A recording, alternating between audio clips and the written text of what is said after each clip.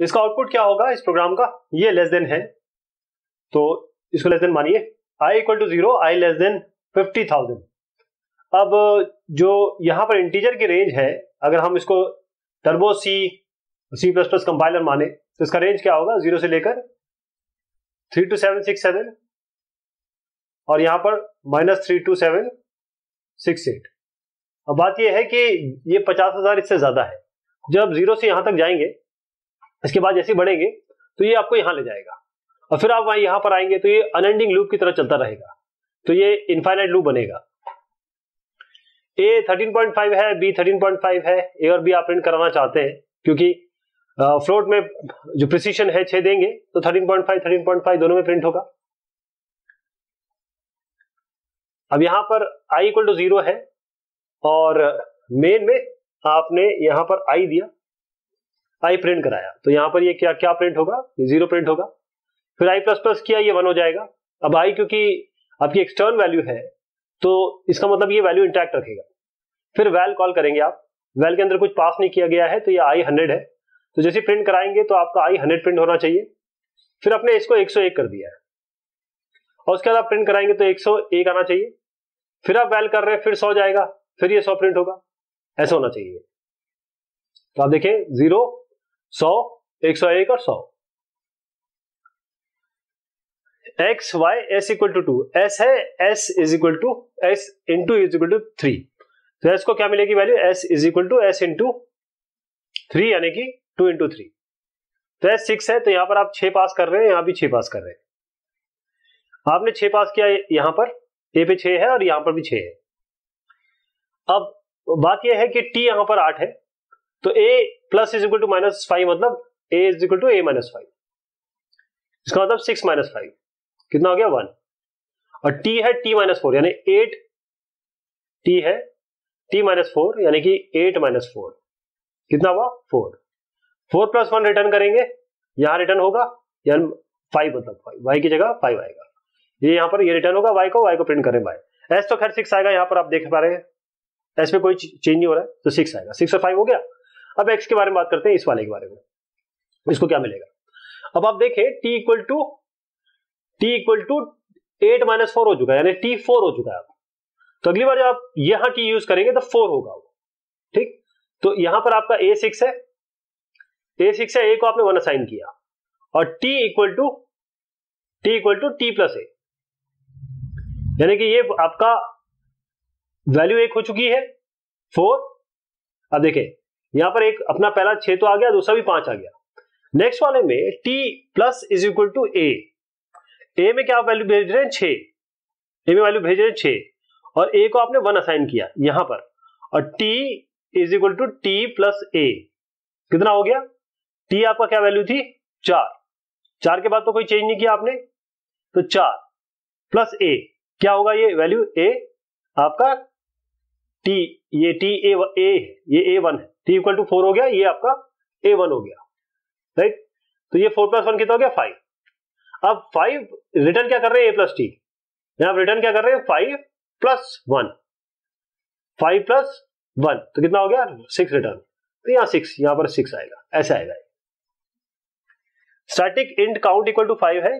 Count आप दिखा रहे हैं और काउंट माइनस माइनस कर रहे हैं।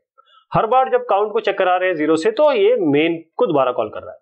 स्टैटिक वैल्यू अपनी वैल्यू रिटेन करता है। तो पहली बार में तो ये पाँच प्रिंट हो जाएगा यहाँ पर, फिर काउंट माइनस माइनस होगा। इसका मतलब एक बार एक माइनस हो गया। यानी कि अब यहाँ चार से मैच करेंगे, चार नॉट इक्वल टू ज़ीरो चार नॉट इक्वल टू ज़ीरो तो फिर से मेन कॉल करेगा? लेकिन अभी स्टैटिक वैल्यू अपनी वैल्यू रिटेन करेगी। तो आप यहाँ इसको चार कर चुके हैं तो ये अब चार हो जाएगी। फिर आप चार प्रिंट करेंगे, चार प्रिंट हो जाएगा, फिर ये पास होगा। ये ज़ीरो तक इस तरीके से करेगा, यानी कि फाइव फोर थ्री टू और वन ऐसा प्रिंट हो जाएगा। Five four three two one अगला है आपका आई ये लेस देन है। I equal to one I less than five I plus plus अब आई पास कर रहे हैं इसमें।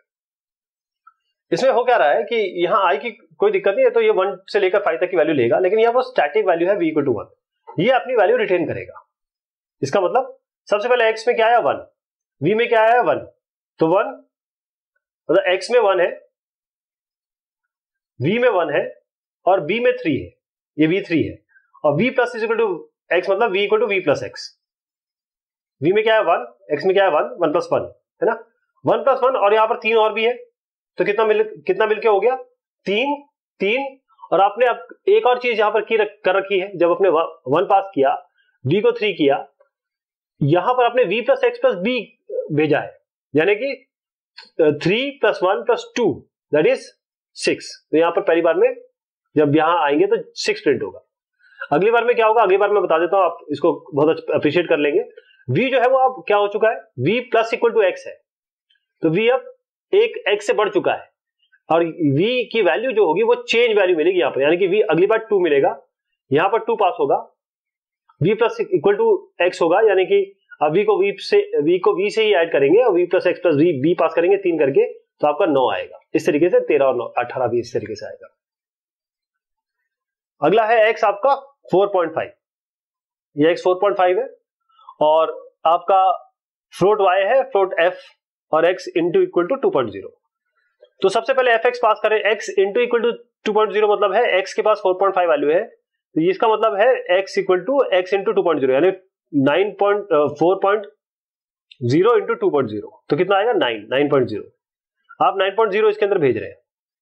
अब देखिए, आप यहाँ पर x x वैल्यू प्रिंट करा रहे हैं ना इस जगह पे। तो x की वैल्यू क्या होगी आपकी? ये देखिएगा। और उसके बाद एक्स यहाँ पर आपने पास किया तो ए को मिल गई आपकी 9.0 9.0 में आपने फिर से ए को ऐड कर दिया, यानी कि 9.0 के साथ आपने 4.5 को ऐड कर दिया। राइट यानी कि 1.3 आया और ए a आपने पास किया ए कौन सा गया? ये एक्स ये एक्स वैल्यू गई ना? यही तो पास किया। 9.0 तो 9.0 प्लस 5 इस तरीके से 9.4 अगर आप करेंगे तो आपको मिलेगी 9 plus thirteen point five okay लेकिन x equal to x minus four point five ये वाली वैल्यू यानी एक्स क्योंकि आपका एक्स यहाँ पर इस जगह पे यहाँ पर नाइन हो चुका था nine minus four point five कितना आया? फोर पॉइंट फाइव ठीक? तो अगर इसको देखें, और मैं इसको रन कराऊं आपके सामने, इसको प्रॉपर इसको रन कराते हैं सेम प्रोग्राम है, आपका ये वाई है एक्स आपने 4.5 ले रखा है, इसी तरीके से आपने एक्स इक्वल टू टू किया, यानी कि 9.5 अब इसको 4.5 पॉइंट इंटू टू कर दिया ये नाइन जाएगा। नाइन इसमें पास होगा नाइन के साथ 1.3 पॉइंट थ्री एड होगा। टेन यहाँ पर यहाँ पर नाइन के साथ नाइन के पास 1.3 पॉइंट थ्री एड होगा सॉरी तो यहाँ पर हो जाएगा ये 10.3 ये 10.3 आएगा हाँ।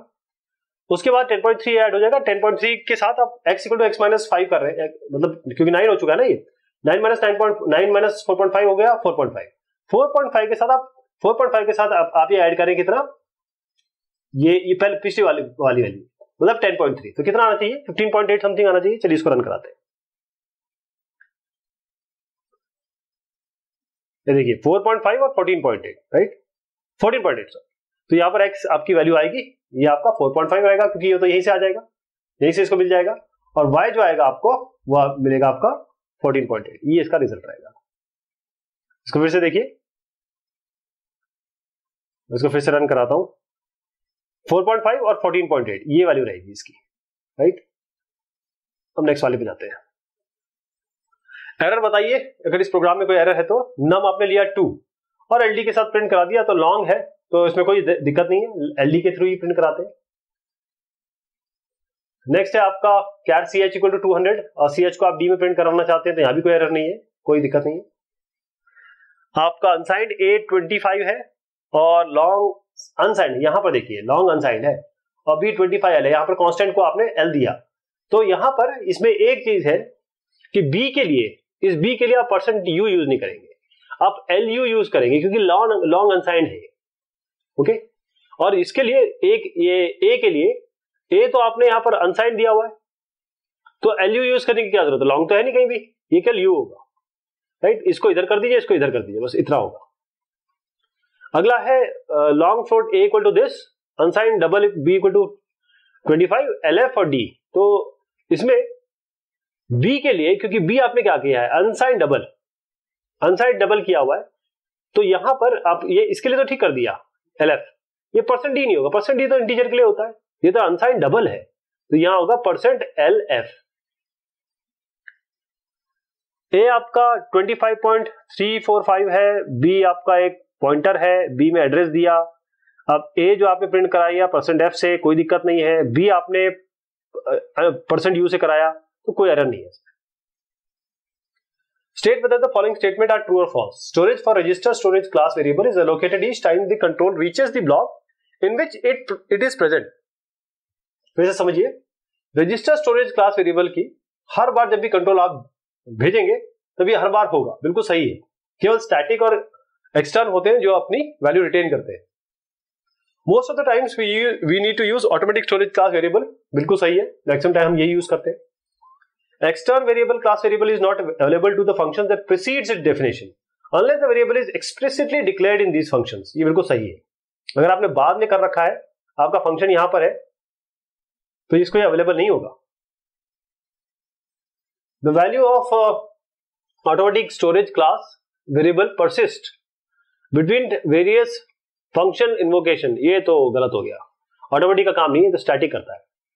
If the CPU registers are not available the register storage class variable are treated as static static नहीं।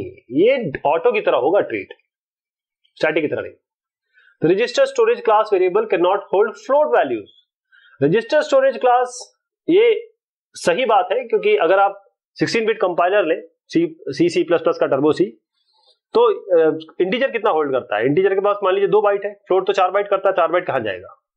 इसीलिए। Following program calculate the sum of digit of the number 1, 2, 3, 4, 5. Go through it and find out why it is necessary to declare the storage of the variable sum as static. अब इसको static करने का main चीज़ ये है कि जब एक बार आप इसको समझिए। क्या कर रहे हैं आप? इस फ़ंक्शन को इसी फ़ंक्शन को आप बार बार कॉल कर रहे हैं। यानी कि एक तरीके से ये रिकर्शन है। तो रिकर्शन में क्या होगा कि जब भी आप पहली बार जाएँगे तो एक, इसने एक वैल्यू निकाली। मान लीजिए फाइव निकाली, यहाँ पर ये फाइव निकालेगा। उसके बाद five sum sum equal to zero किया हुआ है। Right sum equal to zero तो हम सम इक्वल टू ज़ीरो कैसे कर सकते हैं? बगैर बगैर ज़ीरो किए, इसको स्टैटिक बना दीजिए। सम इक्वल टू ज़ीरो हो गया। एक बार फोर फाइव आएगा, फिर अगली बार आप क्या करेंगे? फाइव के साथ। जब नेक्स्ट टाइम इसको कॉल करेंगे तो ये जो सम है, इसको वैल्यू रिटेन करनी है। तो फाइव प्लस ज़ीरो था पहले। अगली बार यहाँ से फोर निकल के आएगा। तो फाइव प्लस ज़ीरो में फाइव मतलब है आपके पास। अगली बार क्या आएगा? फोर ऐड करना है तो फाइव प्लस फोर अगर ये फाइव चला जाएगा तो फोर किसके साथ ऐड होगा? इसीलिए इसको स्टैटिक लेना पड़ा। कहने का मतलब है कि ये रिकर्सिव सम ऑफ़ डिजिट है। इसको ज़ीरो से रजिस्टराइज कर रहे हैं, इसलिए स्टैटिक लिया। Static int sum equal to zero एक ही बात है। ओके और हर हर बार फ़ंक्शन कॉल में इसकी वैल्यू रिटेन होनी है।